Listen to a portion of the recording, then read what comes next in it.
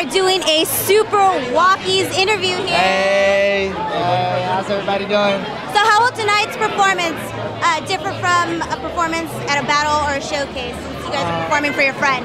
I think uh, what's the the difference is that we got everybody over here, our whole camp. Uh, we got the bangers, we got SuperCr3w, we got Jabbawockeez. So you know, we just got the whole family here, and uh, we got Araya over here, you know, our, our little one, and uh, we're just here doing it for you know the love for God and for dance.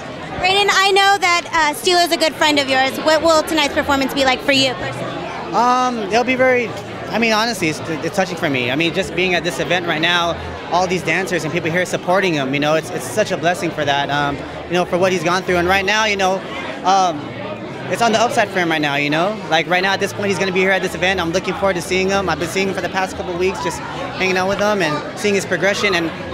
Everybody's going to see his progression and, and how strong of a character and a and a person, a father, a dad, uh, you know that he is. And so um, we're all looking forward to seeing him. We're all glad that we're here to support this event. It's a really big event to us, and as much as we could do, even just through dancing and even just through you know helping to give back to him and to help his family out, would be great.